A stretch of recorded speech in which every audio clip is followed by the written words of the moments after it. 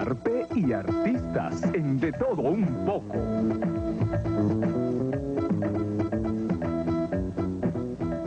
Bueno, nos encontramos por aquí, por el Salón de Belleza de Hernán, quien es cosmetólogo general. ¿Qué abarca esto, Hernán, cosmetólogo general? Bueno, primero quiero saludar a tu querido público que te ve todos los, eh, los domingos. Los domingos que te veo siempre de noche en tu programa de todo un poco, ¿no? Y en segundo lugar, eh, hace tiempo que no nos veíamos, estoy muy contento de estar contigo, porque estás igualito, ¿no? He pasado un año contigo, la cara bueno. eh, cosmetología quiere decir que abarca todas las cosas de, desde el cabello, desde la cara, eh, pues desde hacer los tintes, hacer este, permanentes, hacer alisados, desrizados, texturizados, maquillaje de efectos especiales, maquillaje para cine, maquillaje para teatro, eh, maquillaje de transformaciones de personas de una persona a otra persona. Eh, se puede hacer implantes de cabello, extensión de cabellos, eh, tiene que hacerse de todo, delineador, corrector de ojos para perenne, semiperenne, pestañas postizas, delineador de labios, este perenne también abarca hasta pedicure y manicure, o sea que todo, todas las cosas de la rama de belleza, limpieza de cutis, eh, mascarilla, todo lo sé hacer y prepararlo. Exacto, o sea que uno viene aquí feo y sale bonito. Bueno, me dicen de tantos años en la carrera que tengo ya, llevo como 30, años por ahí. Qué ¿A gente te molesta que yo diga que llevo tantos años? No, pero te conocemos hace siglos. Sí, gracias a Dios. Eh, Hernán, eh, tú fuiste a, a Curazao con Valeria.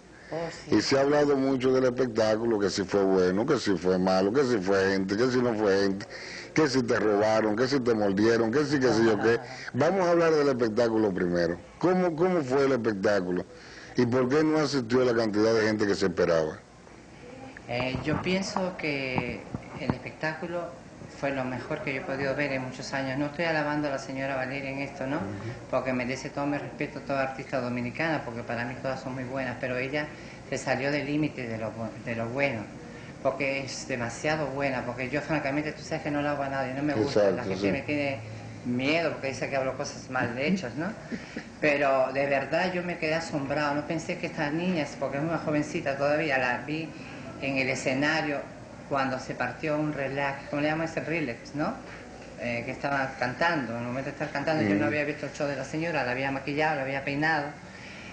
Y cuando salí a ver el show de ella fue algo fantástico, que ella mantuvo al público más de 10 minutos en el escenario, sin música, sin el, el rolé, como le llaman aquí, no sé, eh, que se rompió. La cinta, sí, la, se rompió no se, podía, se había enredado y no se podía, entonces ella siguió cantando. En la pista, vamos a decir, se enredó la pista. Ella siguió cantando sin pista, sin música, siguió cantando, cantó como cuatro canciones muy lindas, por cierto, la voz de ella perfectamente muy armónica, preciosa. Y me llamó la atención mucho que hizo chistes muy bonitos, no subidos de tono muy fuerte. En Curazao le entendieron. El primer día hubo fallas, como lo hacen todos los artistas mundiales en los shows, ¿no? Fallas técnicas, como pasó eso, después ya no volvió a pasar más. Pero la publicidad se la dieron, los periodistas ya se portaron muy bien con la señora Valeria y todo el grupo, ¿no? Y, pero yo pienso que el manager que la contrató, la manager quien sea, le faltó más publicidad darla, porque yo creo que la estrella tiene que ir primero su publicidad con sus discos y en todas partes radio, televisión, antes de llegar ella, ¿no? Y no es culpa de la estrella, sino de que la contrata, ¿no? Pero en la primera noche no, no llenó, estaba, estaba casi como si esté vacío, ¿no? No había, yo creo que habían como 108, 109 personas más no había, o no, algo así. Además que el precio creo que estaba bien alto. Entonces, sí, es un precio que cobraron demasiado alto, pero para ella vale, el show de ella vale más que eso. Yo sé que vale más que eso. Pero si hubiera tenido la publicidad de vida, pues estaba bien. Al segundo día, ella salió en todos los periódicos, en primera plana de todos los diarios de Curazao. En la televisión a todo momento la estaban poniendo, la publicidad tiraron en el momento de llegar ella demasiado rápido, cada, cada 20 minutos. Y en todas las radios de Curazao. Pero eh, el cambio de, ¿cómo se dice?, de, de la moneda salveña al dólar, al sacar el cambio venía, venía a costar la entrada casi 40 dólares. Exacto, que. Wilfredo creo que estaba Ah, Wilfrido estaba allá, sí. Mucho más barato. 9, do- 9 dólares. el- 49, Bueno, imagínate. pero con el perdón de mi, de mi amigo Wilfrido, sí. Pero es una, es también toda una estrella él, ¿no? Y tú sabes que 9 dólares contra 40. ¿qué es Exacto? Y una sí. publicidad que tenía, no tan Fuerte. grande, chiquitita, tú ves, pero porque ella lo ponen chiquita en los diarios. Pero la señora Valeria estaba en la primera portada de todos los diarios. Y fuera de eso, eh, me asombré eh, cómo ella pudo salvar la situación de, un show. Después al siguiente día, gracias a la publicidad, como tú sabes que la publicidad mueve montañas, ya se llenó más. Ya había al siguiente día, habían más de 300 y pico personas, a 300 y pico. O- no, no, no, yo estaba contando, pero no podía porque quería mirarlo, pero como tenía que estar yo arreglando la cambiaria, a maquillarse, ¿tú? Bueno, el último día, para no cansarte, estaba tan lleno, tan lleno, que no es mentira eso, estaba lleno. Faltarían una dos, tres personas, no sé, pero estaba lleno, una capacidad de 800 personas, ¿no?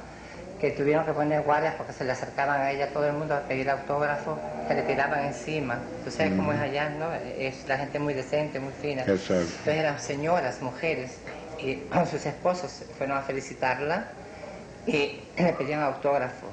Se demoraron hasta casi, nos demoramos en entrar como hasta las una y media de la madrugada. Eso terminó como a las doce y pico, pero mientras ella filmaba autógrafos y filmaba aquí, tomaban fotografías, pues fue muy bueno para ella porque se introdució, porque ya de ahí puede salir a todos los países, porque fue un éxito. El show fue un éxito en sí. Es una cosa linda para los dominicanos ver que una estrella ya se prolonga para afuera como ella y se, se haga su éxito en esa isla, ¿no? Exacto. Ya de ahí ya puede tener contacto por otros lados, con una promoción más adecuada, mejor hecha ya, y, y yo creo que va a salir muy bien. Pero la verdad que yo me asombré, yo pensé, porque tú sabes que yo veo a Rocío Jurado, que una estrellaza en el escenario, a señora eh, a la que yo trabajo también, Paloma San Basilio, a todas las que vemos siempre, ¿no? A Celia Cruz, a todo el mundo. Pero que esta niña llevara el show y que la gente, sin, porque no, te- no era conocida ya en ese país, ¿no? Con el perdón de Valeria. Pero con el- la publicidad que le dieron, pues se llenó. Al último, al último día se llenó, porque no tengo por qué mentir, se llenó. Entonces el show gustó. sí. Gustó. Entonces, ¿tú, tú consideras que la, que la artista dominicana se maquilla bien o, o- o busca orientación acerca de su maquillaje? ¿Se preocupa por su figura? Sí, en este país yo creo que sí. Eh, eh, hay buenos maquillistas que han aprendido, ¿no? De- yo como yo enseñé a Víctor Edarte, yo enseñé a Jerico Jaspe, yo enseñé a Ranáside, enseñé, como a ellos, enseñé a muchísima gente más en clases que yo daba antes de maquillaje. Entonces hay uno que se llama maquillaje de televisión y maquillaje de teatro y maquillaje de escena, como tú sabes, ¿no?